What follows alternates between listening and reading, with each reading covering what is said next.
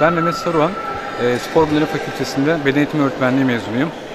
Şu anda e, 2015 yılında kurulmuş olan Aikido topluluğumuz bünyesinde eğitmenlik yapıyorum şu anki süreçte.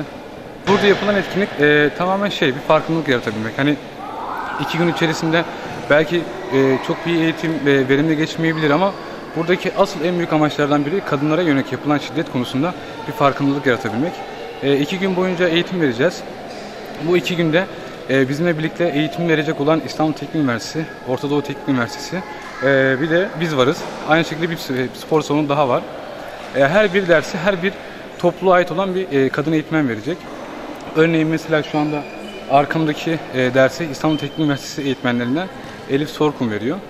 Gün, e, yıl içerisinde ya gün içerisinde gündelik hayatta kadınların dışarıda uğradığı fiziksel saldırılara yönelik onlara bir eğitim vereceğiz burada.